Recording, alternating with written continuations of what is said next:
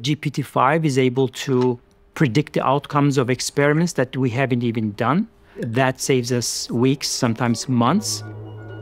Fundamentally, it will change the way we do science.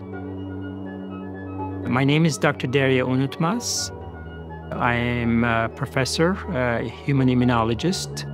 I've been working in the lab for the past 35 years, trying to understand how the immune system works and how it impacts different diseases.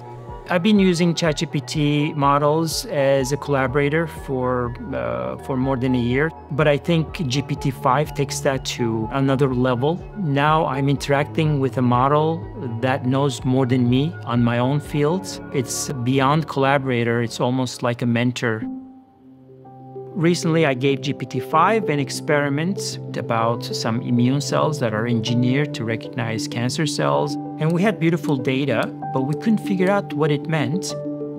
So I uploaded this to GPT-5, and it not only suggested things that we later on uh, performed, but also remarkable new insights.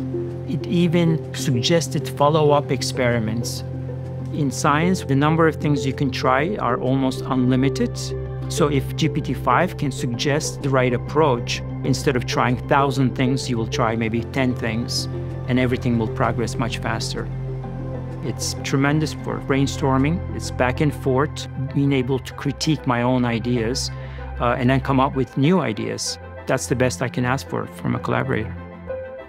I think GPT-5 will help the patients to advocate for themselves and I think that will empower the patients to feel more confident when they talk to their doctors.